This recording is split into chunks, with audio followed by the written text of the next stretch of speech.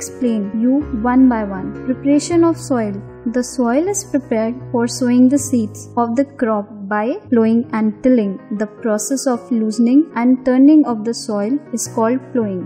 Why is it necessary to plow the fields? Importance of plowing are the loose soil allow the plant root to penetrate freely. The loose soil allow the root of the plant to breathe easily. The loose soil help in the growth of microorganisms present in the soil. Plowing help in uprooting the weeds. Plowing help to replenish the soil naturally. How is plowing done?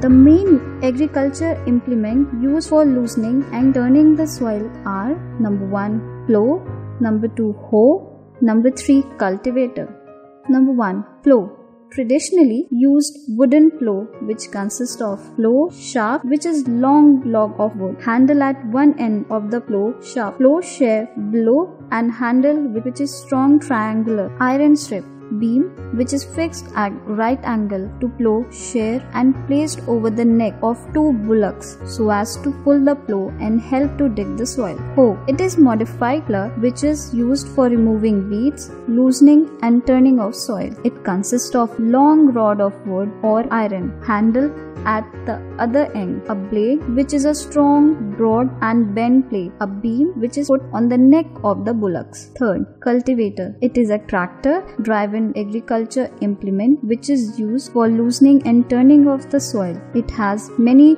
plowshares which can dig into a considerable area in a short time and saves labor and time. When the plowing is done, soil is leveled. Why is the soil leveled and how is it done?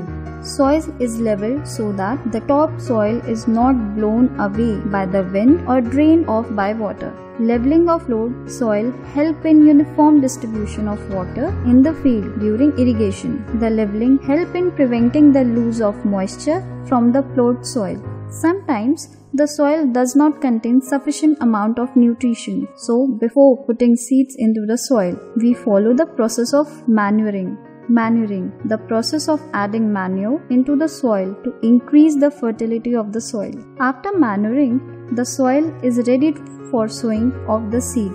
What is sowing and how is it done? Sowing is the process of scattering seed in the ground soil for growing the crop plant manually or by hand. Sowing the seeds manually is also called broadcasting by using the seed drill. Seed drill is a long iron tube having a funnel in which seed are put. The seed drill is tied to the back of the plow where plow makes furrows in the soil and the seed from the seed drill are gradually released and sown into the furrows.